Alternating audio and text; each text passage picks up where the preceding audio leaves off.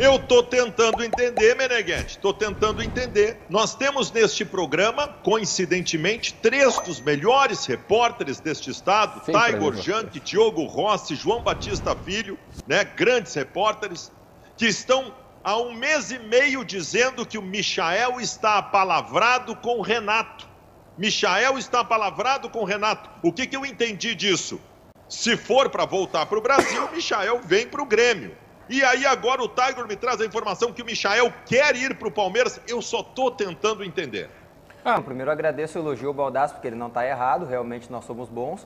Só que a situação é a seguinte: apalavrado com o Renato não é apalavrado com o Grêmio, não é acertado financeiramente com o Grêmio. O Grêmio sempre deixou claro isso, né? Que não há um acordo do Grêmio com o Al Hilal para o jogador atuar em Porto Alegre. O Renato e os jogadores e o jogador conversaram algumas vezes. Até uma novidade em relação a esta situação que foi revelada pelo Paulo Calef em entrevista à Rádio Guaíba no final de semana. Ele, Paulo Calef, revelou que ligou duas vezes para o Michael já, né? E aí não precisou quando, mas disse que realizou esta ligação em relação ao atleta. Agora, eu entendo que o Palmeiras, forte no negócio, é um concorrente que tenha talvez até mais condições de contratar o Michael do que o Grêmio. O que eu ouvi é que o Michael está ciente de que no Palmeiras ele teria que concorrer pela posição.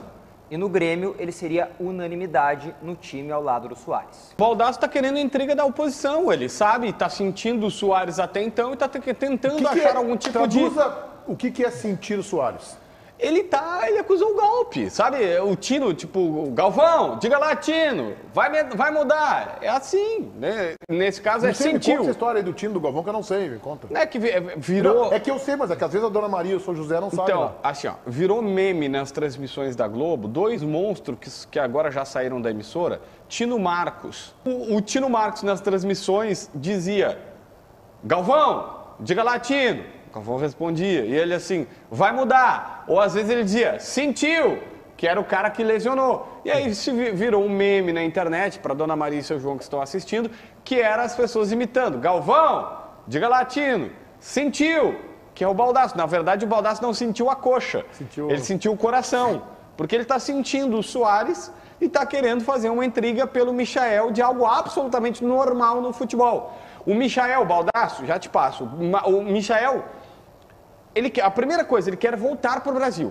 Competitividade. Ele quer. É, que, é meio ruim isso aí, tá? Porque parece que ele não sabia que tinha, não tinha competitividade não. lá. Parece que é novidade. Chegou lá, bah, não sabia, não tinha internet ah, na minha casa. JB, não é porque tu, não bem. é porque tu sabe uma coisa que tu não, não quer, que tu não precisa voltar para uma realidade tudo melhor. Bem. Ele pegou e foi para lá. Chegou lá, não se adaptou, não tinha feijão, não quis ir. Aquela velha história do futebol brasileiro, depois não sabe por que, que se vende mal aqui no Brasil. Mas tudo bem. Aí pediu para voltar. O cara quer retornar para o Brasil, antes de tudo.